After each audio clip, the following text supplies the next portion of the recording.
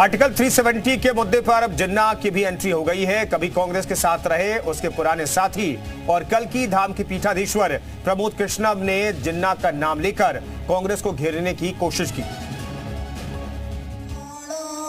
प्रमोद कृष्णम ने कहा कि अनुच्छेद 370 अब दफन हो चुका है। अब इसे कोई वापस नहीं ला सकता और जो लोग ऐसा कर रहे हैं, वो अलगाववाद को बढ़ावा दे रहे हैं।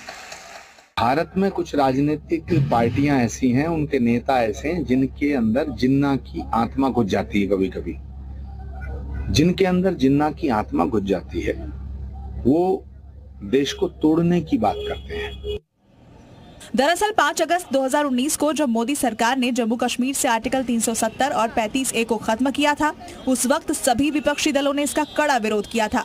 कश्मीर में विधानसभा चुनाव के दौरान कांग्रेस और नेशनल कॉन्फ्रेंस ने गठबंधन करके चुनाव लड़ा, जिसे लेकर बीजेपी ने कांग्रेस को अपना रुख स्पष्ट करने को कहा था। अब प्रमोद कृष्णम ने भी कांग्रेस को 370 पर अपना रुख साफ़ करने को कहा है। मैं राहुल गांधी जी से आग्रह करना चाहता हूँ कि वो अपना रुख साफ़ करें। सारा देश जानना चाहता है कि राहुल गांधी कश्मीर में 370 दोबारा लगाना चाहते हैं या नहीं लगाना चाहते हैं। जम्मू कश्मीर में कांग्रेस 370 के ऐसे चक्रव्यूह में फंस गई है कि वो ना तो इसका समर्थन कर पा रही है और ना ही खुलकर इसका विरोध।